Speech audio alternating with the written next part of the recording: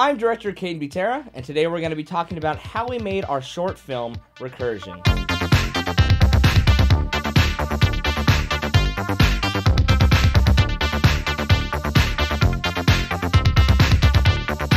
A hard sci-fi is something I've wanted to try for a really long time now. They're some of my favorite movies to watch, so I couldn't wait any longer to get started on this project.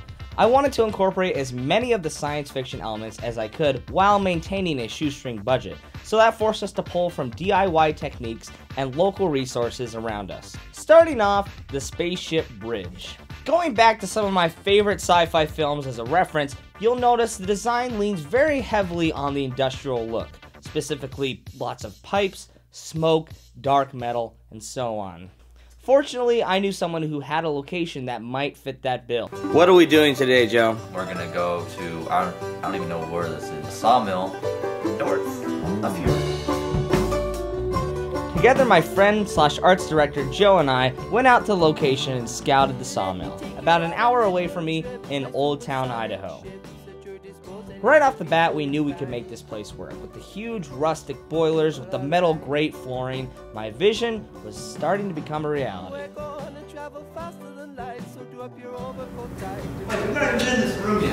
This was at one point an actual functioning sawmill, but has since been left to deteriorate. There was some graffiti on the wall, there was an actual rib cage on the floor waiting for us. That was scary. After snooping around there for far too long, Joe and I agreed that not only would we be using this location as our bridge set, but also the abandoned Corporal building set later on in the script as well. It was just too good of a location not to show off every nook and cranny of this creepy rustic place. We got a few problems to work around. Number one, there's no power. Because there's no power, we had to rely exclusively on battery powered lights. To dress the set and make it look a little more interesting, we took a bunch of battery powered LEDs from Home Depot and put them in the background. So another thing is there's a lot of holes in the wall and a lot of moments where the sun is coming out. So we'll either have to shoot it at night or cover every single hole in the wall. There were lots of random windows and random holes in the walls, giving us a lot of light leakage. So our first task was to black those out. To dress the bridge set even further, we went out to a junkyard and acquired a bunch of random scrap metal. Switches, metal knobs, things that we could dress in the background that could further disguise the sawmill.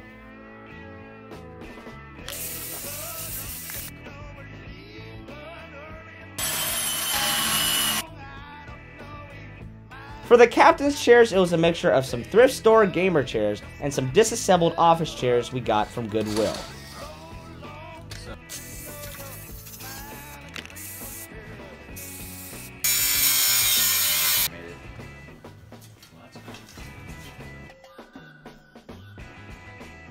I really wanted to go with a more dark, low-key look to the ship rather than a bright and shiny atmosphere.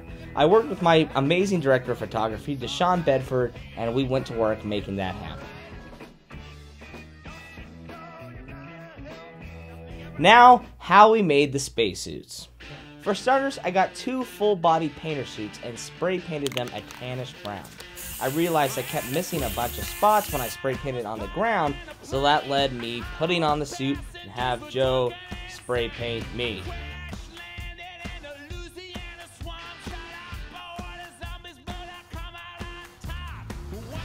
We need to cook. After that, we went to the thrift store and got an old football helmet and an old motorcycle helmet and spray painted those as well. We're gonna want to remove the inside padding because it's so small Wait. in there. I look like Speed Racer.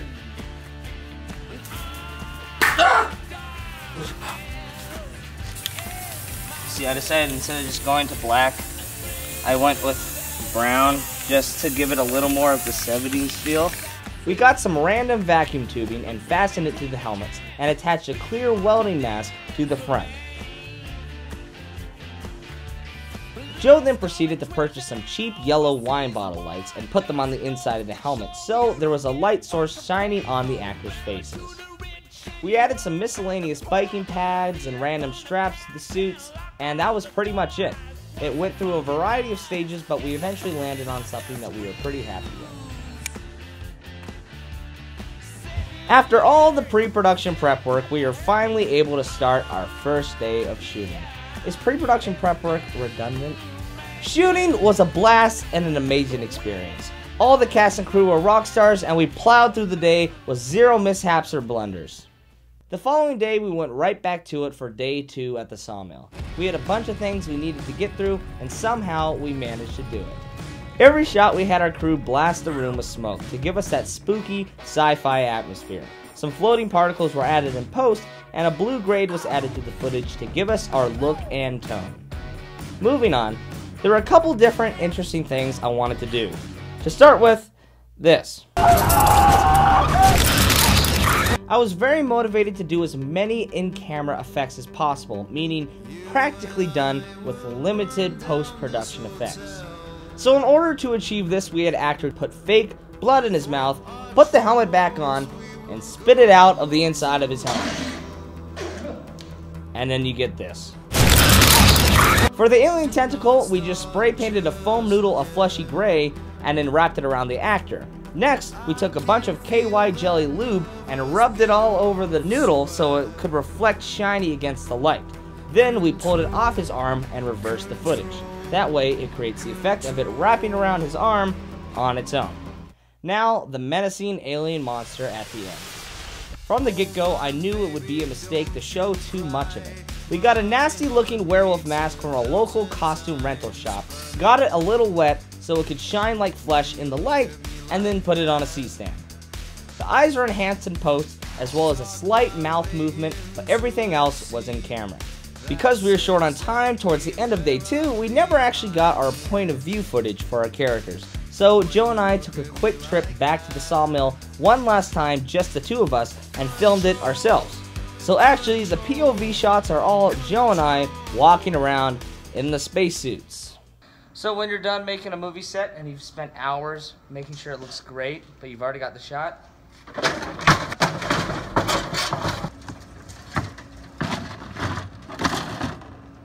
Day 3 was an extra special one. For starters, we were wrapped on the sawmill and we're now filming in a studio.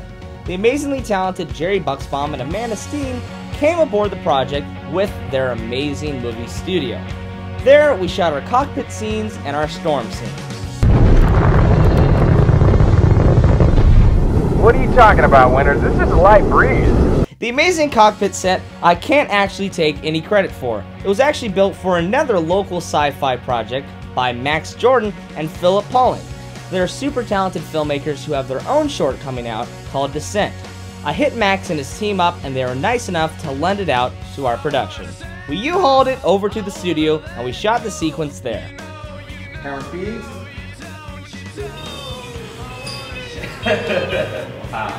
For the entry spark effects, Jerry was off-screen behind the window spraying metallic sparks with an angle grinder apparatus. That combined with some smoke, and we had our capsule entry effect. Now onto the stormy alien planet. It's actually quite nice out here. I wanted our characters to be trudging through a harsh layer of thick fog and blowing particles, with nothing else in sight but the storm and them. So to make it look like the background went on forever, we shot in front of a black curtain, then Jerry filled the room with a smoky haze. We actually had only one side of the black curtain, not a 360 surrounding it. So anytime we wanted to switch shot directions, we'd simply have the actors pivot their stance and face the opposite direction. That way we could get shots from any direction and we could keep the setup the same every time. For the storm, Jerry set up a high-powered fan to blow the smoke towards the actors. Then he put a bunch of fake hail material into a wheelbarrow and using a leaf blower, blew it forward.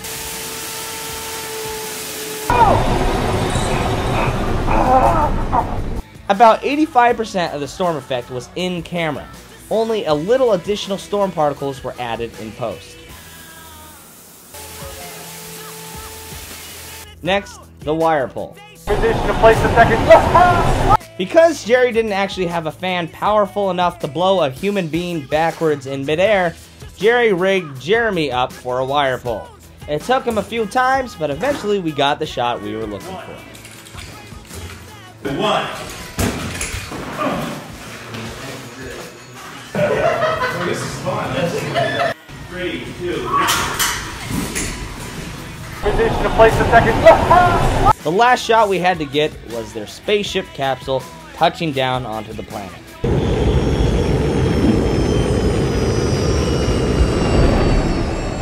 Iris, we touched down to the surface of CL-14. Because we couldn't afford to build an actual spaceship, I digressed to an original way of doing things model work. Joe and I set up a miniature studio in my basement and slowly raised down a Star Wars TIE fighter ship onto a card table. Hopefully, no one noticed. If you did notice, please do not comment. Last shot of the whole film. Overall, this was an amazing filmmaking experience, and I couldn't be more thankful to my extremely talented cast and crew. Seriously, these guys are amazing, and I couldn't be more thankful for them. Thank you very much for watching, and I'll see you in the next episode of I don't I need a closer. Thank you for watching the behind the scenes of Recursion.